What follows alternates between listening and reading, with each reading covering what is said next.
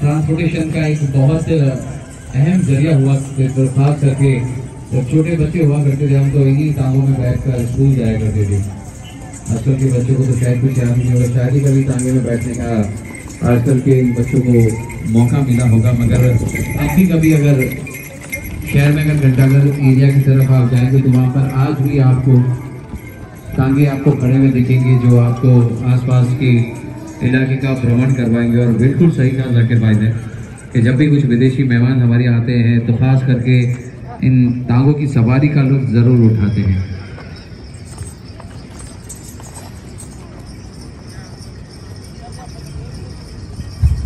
बहुत ही बेहतरीन घोड़े बहुत ही बेहतरीन टांगे आजकल ये टांगे और ये घोड़े सिर्फ़ खाबो ख्यालों की बातें जैसे होती है धीरे धीरे जैसे जैसे बाइकों का चलन हुआ, गाड़ी, घोड़ा, मोटरसाइकिल का चलन हुआ, लोग इनमें बैठना, इनसे दूर रहना लग गए।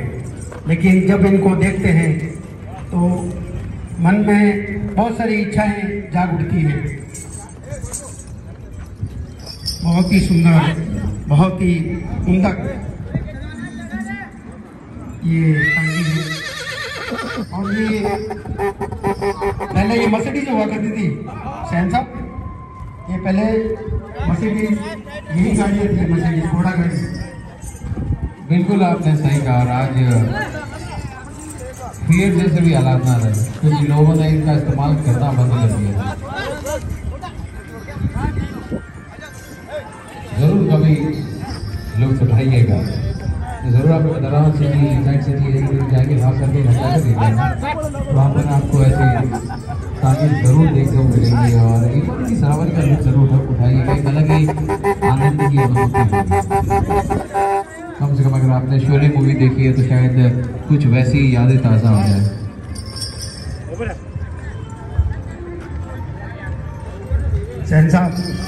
ऐसी घोड़ी नहीं मिलती है दन्नो कहाँ से लाऊँगा दन्नो ये आपने गलत बात कह दी।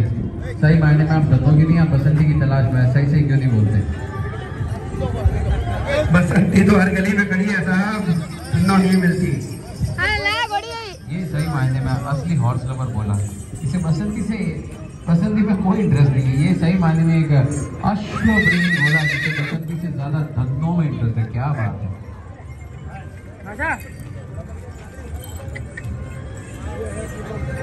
Đẹp. Đẹp. Đẹp. Đẹp. Đẹp. Đẹp.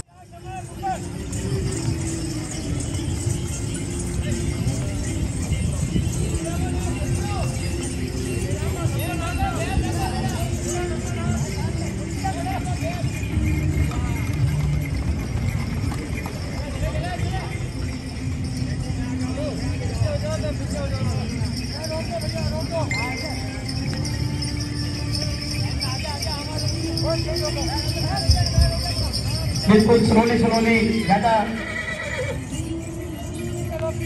थोड़ा तेज़ी ना करें, बिल्कुल स्लोली धीरे धीरे।